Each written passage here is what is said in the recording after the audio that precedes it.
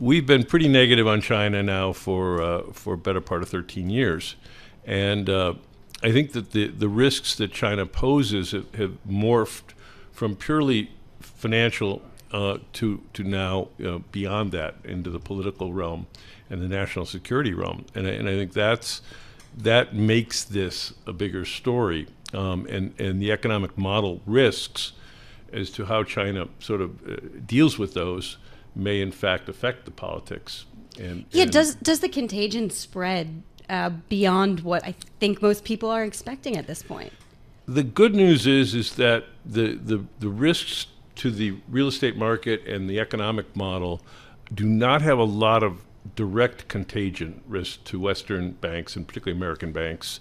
Um, where the risks are are in uh, our equity and debt investments um, that that you know various funds hold, pension funds hold, uh, retail investors hold, uh, and and I think that's that's the bigger issue as opposed to a, a 2008 type transmission mm. from their real estate bubble bursting to everyone's real estate bubble bursting.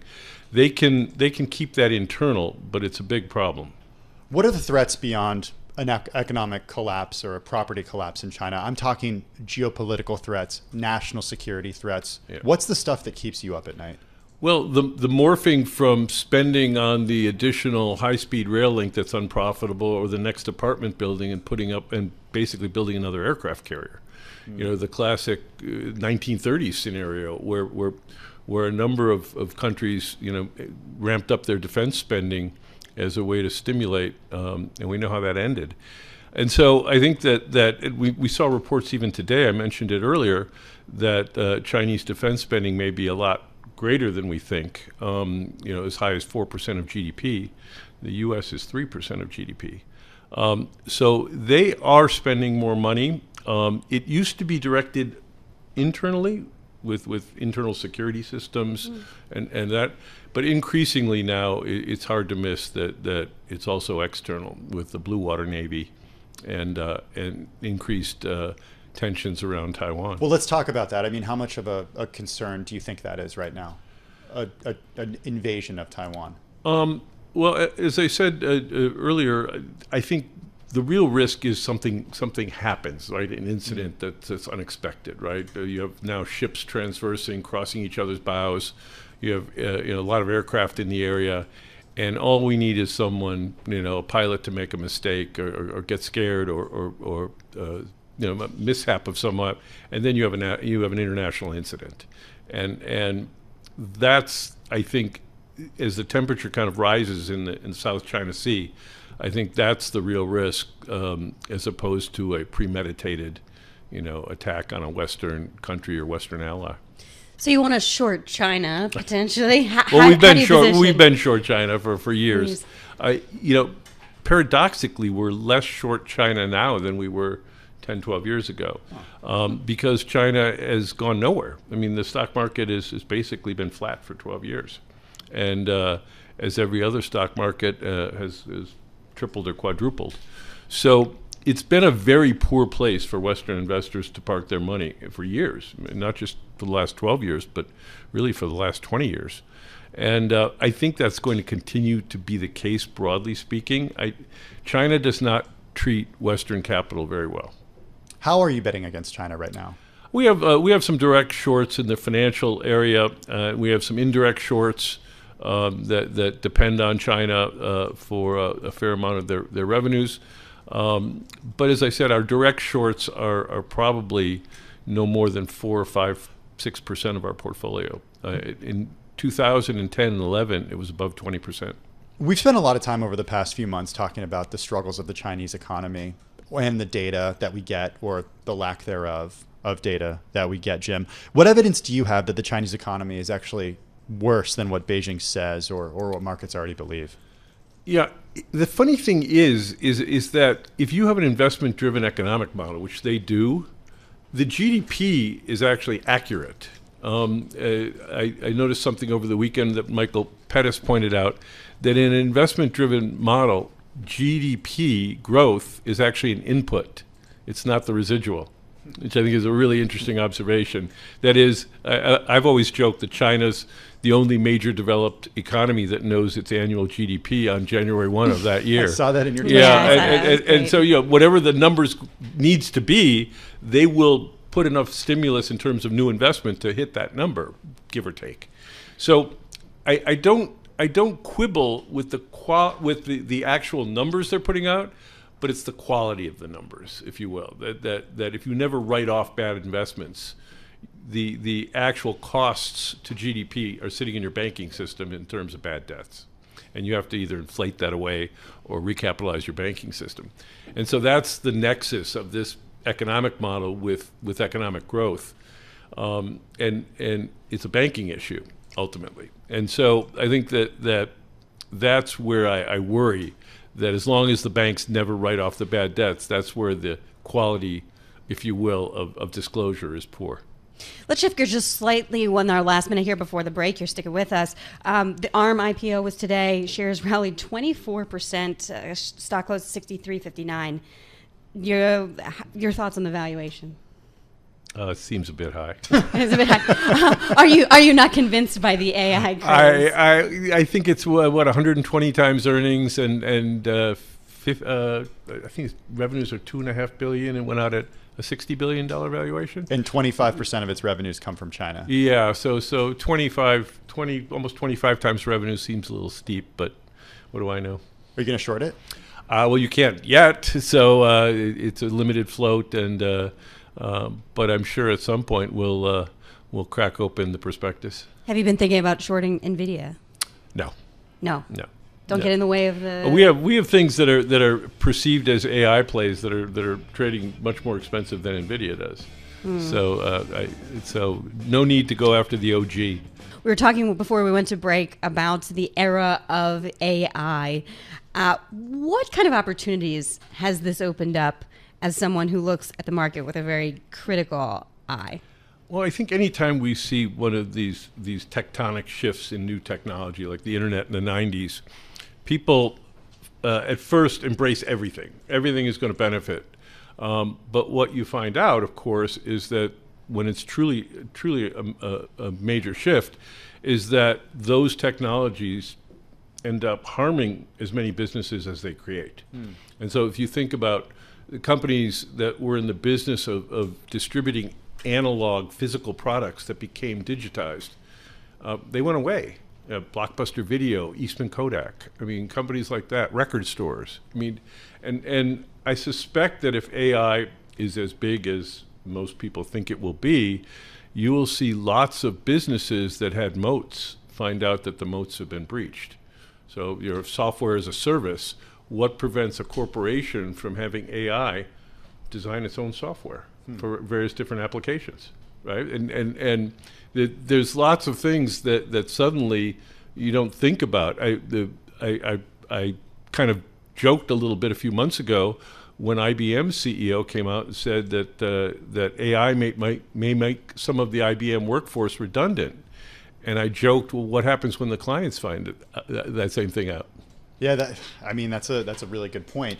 Um, I want to shift gears a little bit and talk about your, your strategy around shorting and, and what you're seeing in the market today. I, I think a lot of people, of course, understand your history with uh, being a fraud hunter and, and going after companies like Enron in the past. I'm, I'm wondering if over the last few decades, with regulatory changes, you've seen fraud reduced or are there increased instances of potential fraud out there? I, I've called this the golden age of fraud. I think there's more fraud in the financial markets now than there has ever been. Um, and, Why? And I teach a course on uh, on the history of financial market fraud. So so uh, the cycles go back to the late 17th century. I think that that it, it always changes, but what, what really has me bothered now is that a lot of it hides in plain sight in the way in which companies report their business and their metrics. Um, so i i- prior to, to, say, 10 years ago, um, you really had to, to sort of, if a company was making unusual changes to its earnings statements, you know, they would have to explain it away. And nowadays, adjusted earnings are basically the norm. and companies add back all kinds of things that they don't, don't really It is a little wild. ca- expense. Oh, it's amazing. Uh, Coinbase uh, in the fourth quarter of last year, I think share-based comp was almost eighty percent of revenues, and they just added it back. I mean- and, and so it's yeah, We go back to the WeWork, why WeWork didn't go public the first time. Yeah. Community adjusted EBITDA. EBITDA, yeah, that It's- was- at this point it's a joke, but then it wasn't a joke. I know, and investors lost a lot of money, and and the SEC, you know, promised kind of a crackdown on this a number of years ago. They they admonished companies, as I recall, to, to not lead with these kinds of of uh, results.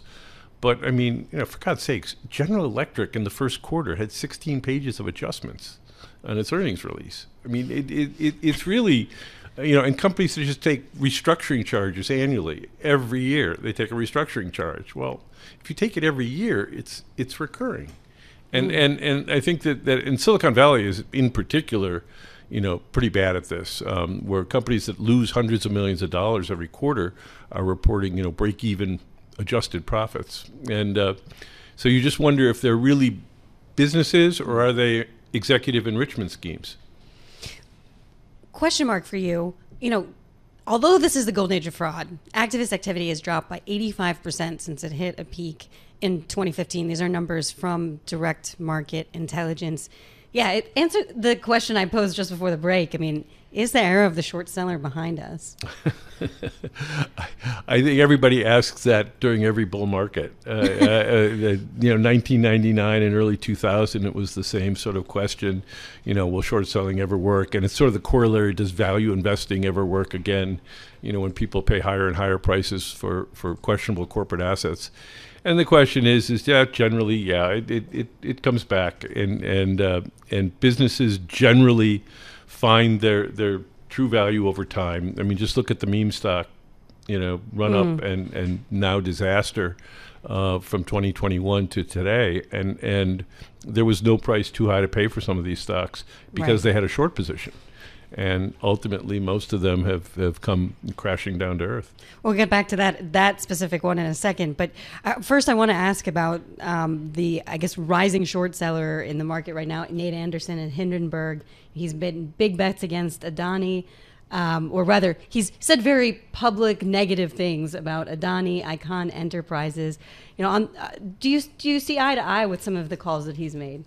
Uh, look, I think uh, the Nate and Hindenburg have done great work on a number of names, Nikola and, and others, and uh, you'd uh, you'd be wise to at least hear what they have to say, even if you don't agree with it. Um, if it's well researched and, and like anything, you know, s- stock prices um, are are opinions based on facts. And and so at the end of the day, that's essential for a marketplace, whether they're they're positive facts or negative facts. And if you're a good investor, you know it behooves you to to to basically hear both sides of any story. We'd be remiss if I didn't ask for an update from you on Tesla. Shares up 124% this year. Yeah, uh, we are uh, we are short Tesla. We remain short. Uh, it's one of our one of our forty four positions that we have. Um, look, a, Tesla is is in many ways, I think, epitomizes this bull market. It's a hopes and dreams stock. Um, it's trading at seventy five times earnings, which aren't growing anymore. Um, it, it looks like revenues are going to be challenged in terms of growth. So it, it's now again an AI story or a robotaxi story or a battery story or a robotics story. It's it's whatever you want it to be, and it reminds me a lot of Cisco back in 1999 and 2000, where Cisco was a networking company. Tesla's a car company, but Cisco was going to get into everything else uh, that had anything to do with the internet, and people put a higher and higher multiple on it, and ultimately uh, Cisco did okay, but the stock price, you know, dropped ninety percent. I'm going to do a quick lightning round of some stuff we that has been reported that you are ha, are or have been short recently. Just have me yes or no's if uh, if you're still short. Digital Realty Trust, Uh, we are short the data centers. S, SL Green Realty. Uh, SL Green is uh, we are short commercial real estate. Okay, T- Tesla. You said Sunrun. You you said Uh, the uh, the uh, solar leasing uh, companies, I've called them uh, science projects. They're, they're absolutely hysterical. They lose hundreds of millions of dollars, huge negative free cash flow. And getting back to our early conversation about metrics, they report uh, rather than than a regular P and L, which would be embarrassing. They report these net present value calculations based on the the panels they put up on people's roofs, and it's absolutely hilarious the way they do it. And uh, I think investors are going to you know find out the hard way about it. All right, Jim, we're going to spend the last 40 seconds with you getting your thoughts on what you're watching, what you're streaming, what you're doing, and uh, what you're seeing at the movie theater. New movie out, Dumb Money. it's got Pete Davidson in it. It's got Seth Rogen in it. Uh, are you going to see it? Have you seen it? It's all about meme stocks. I, uh, I, I, I told one of your colleagues earlier. I, I don't see the need since I, I live uh, I live dumb money five days a week um, in, in the marketplace. So uh, at some point, I'm sure I'll see it. I, I you know, I I think it celebrates the, the meme stock investors winning over uh, you know Wall Street and the and and the evil hedge funds. The sad thing is is that most of those meme stock investors have lost large amounts of money you know chasing these ideas because as we pointed out uh, a lot of these companies came crashing down to earth uh, and and in some cases have already gone bankrupt.